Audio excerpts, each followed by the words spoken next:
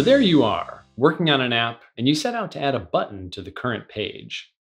You plop down your button and start thinking about the parameters you'll need to pass to ensure it looks just right. If the date of this coding exercise was a year or two ago, you might have written code like this. The button was called material button or flat button, and the parameters looked like this. Color, disabled color, focus color, and highlight color. Four parameters for one attribute, depending on its interactive state. And we still haven't even gotten to text color or border color, each of which will require their own armada of parameters. And as awkward as this is, we still haven't even reached the worst part. To say nothing of the fact that this problem was not limited to these three attributes, or even to buttons. How could Flutter know what you want if an element was both focused and hovered? Sadly, it couldn't. It just had to guess. So not only have you supplied 12 color parameters, you haven't even been able to specify exactly what you want. Are we having fun yet? Okay, so this won't do, but luckily, this entire hypothetical lives deep in the past, and it's current year now. The solution first quietly arrived in Flutter as early as version 1.20, but it wasn't implemented everywhere. What might a potential solution look like?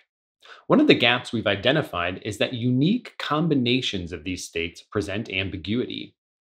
So you might think, okay, we've already written 12 parameters. What's a few more? What about hovered and focused color? Sadly, that idea will only take us further in the wrong direction. Instead of expanding our power by adding more parameters, we want to somehow expand it by removing parameters. The solution the material team came up with was to no longer accept a static value for something like background color, but instead to accept a function that returns a color. But before we can fully understand that function, we have to take a quick detour into the land of what Flutter calls material states. What's this, you ask? A material state is one of the various interactive states that the material design language recognizes. The set includes obvious states like hovered, pressed, focused, and disabled, and other less obvious ones like scrolled under, which was introduced in Material 3.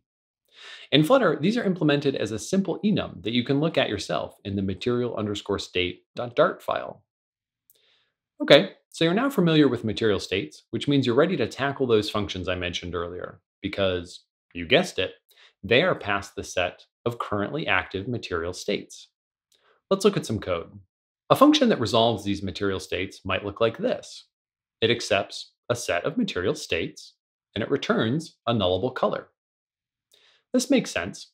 If the element is focused, it returns the focused color. If the element is hovered, it returns the hovered color. And this hypothetical app has decided that these are the only two interesting states. So if neither are true, it falls back to the default. But what if you want to have a special color for focused and hovered? Before, you would have been out of luck. But our function can handle that. That's pretty good, but I will admit it's kind of a lot of code to write. Of course, if you need all of this juggling, then there's no way around it.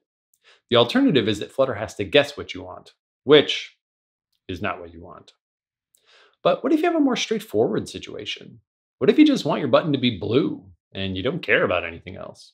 Well, technically, that function could look like this. It's not terrible, but it's a lot more to type than just colors.blue, which is what we used to type. To find out how this API collides with real world widgets, let's return to some material components and take a peek at their parameters. To start, let's look at text button, one of the new age buttons in Flutter. Text button takes an optional style parameter, which is an instance of the button style class. And that button style class looks way more organized than it used to. Now, for something like background color, it just takes a single parameter called background color. Great! But what's the type of that parameter? It's a nullable material state property of type nullable color, which is completely self explanatory. No, it isn't. The first question is whether we can write something like this. And sadly, we cannot. It turns out that material state properties of a type do not subclass that type. The code Flutter wants us to write is this. This still feels excessive for a single value though, and luckily here we can use the following shorthand. That dot .all method is handy when you just want a dead simple one-liner. But What if you don't want any of this and you long for the simpler days of old? Maybe your app will only ever target Android and iOS, so questions like hovered, focused, and pressed colors are not a concern. In that case, check out the styleFrom method on the new button classes. Start with a button and supply its style parameter from the textButton.styleFrom static method, which returns a button style instance. And what does this method take? Simple old variables, not material state properties. Colors.blue has re entered the chat. Now, this whole API wasn't added to make it harder to specify a single color. It was added to make it easier, actually possible at all, to disambiguate complex rules for when multiple material states are in play.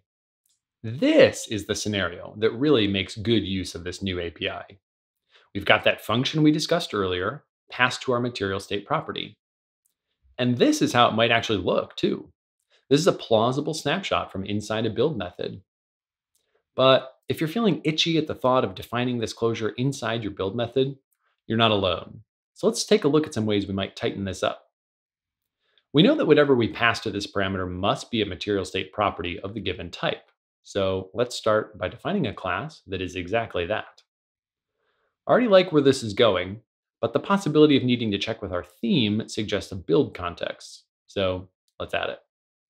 Now, I know we used the resolve with method earlier, but that's a shortcut for using a static version of the class. If we're going to instantiate our class, then the function we have to override is resolve. And what goes in this method? Of course, the same stuff we had before.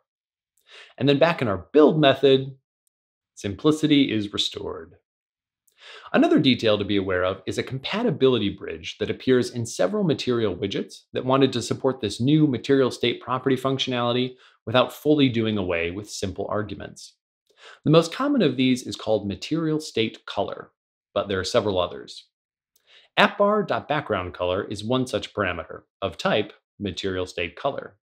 Just know that whenever you see this, you can pass either a color or a fancy resolver. And one final tip to make your life easy consider adding this extension to your code base to further tighten your code.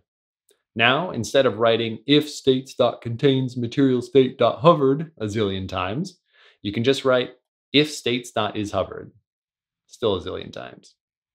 Hopefully, this helps clarify some of the philosophy behind the new API and take some of the bite out of using it. For more info on Flutter, head to flutter.dev.